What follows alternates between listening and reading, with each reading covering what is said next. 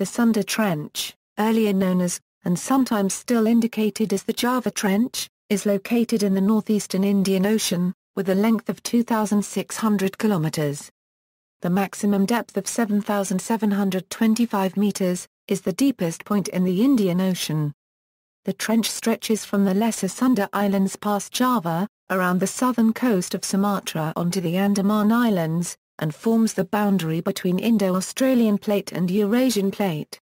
The trench is considered to be part of the Pacific Ring of Fire as well as one of a ring of oceanic trenches around the northern edges of the Australian Plate. There is scientific evidence that the recent earthquake activity in the area of the Java Trench could lead to further catastrophic shifting within a relatively short period of time, perhaps less than a decade. This threat has resulted in international agreements to establish a tsunami warning system in place along the Indian Ocean coast.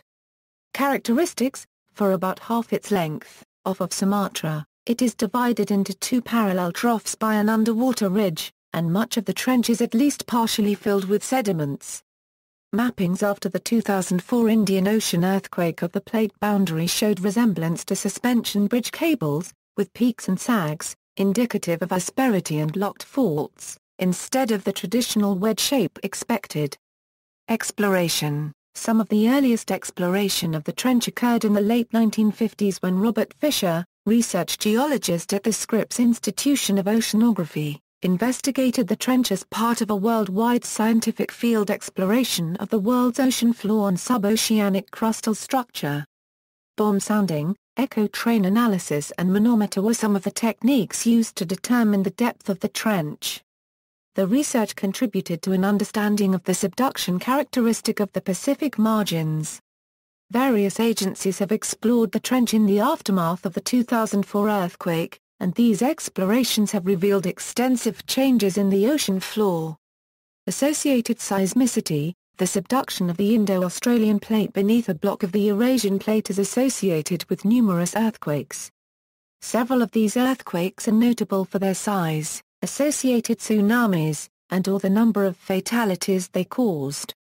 Sumatra segment, 1797 Sumatra earthquake, magnitude 8.4. 1833 Sumatra earthquake, magnitude 8.8 a Euro 9.2, 1861 Sumatra earthquake, magnitude 8.5, 1935 Sumatra earthquake, magnitude 7.7, 2000 Sumatra earthquake, magnitude 7.9, 2002 Sumatra earthquake, a magnitude 7.3 earthquake that occurred at the boundary between the rupture areas of the 2004 and 2005 earthquakes listed below.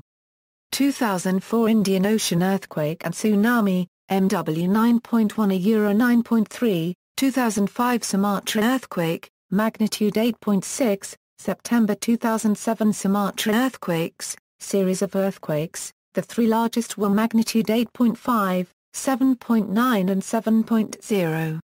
2009 Sumatra earthquakes, magnitude 7.9, October 2010 Sumatra earthquake and tsunami, magnitude 7.7, Java segment, 1917 Bali earthquake, magnitude 8.6, 1994 Java earthquake, magnitude 7.8, May 2006 Java earthquake, despite a magnitude of only 6.3, this earthquake caused 5,782 deaths.